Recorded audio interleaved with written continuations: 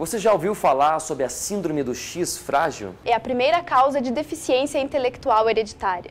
O portador dessa síndrome aparentemente não possui nenhuma deficiência física grave. Até o momento não existe cura, apenas tratamento. Uma em cada 280 mulheres pode transmitir a síndrome do X frágil. Um em cada 800 homens pode transmitir a síndrome do X frágil. Você pode ter, não saber e transmitir.